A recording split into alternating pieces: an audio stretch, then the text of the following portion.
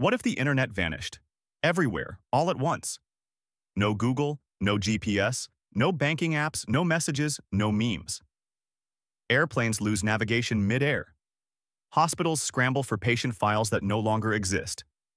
Stock markets freeze, then fracture. Digital wallets become silent pixels.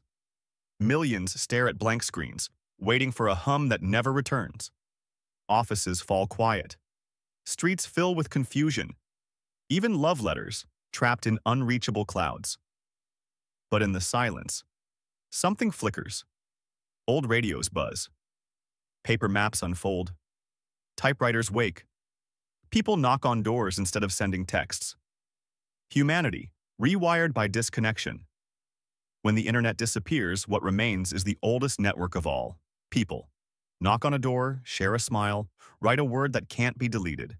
If that reminded you what matters, send the signal forward. Tap like, subscribe, and help the world remember how to truly reconnect.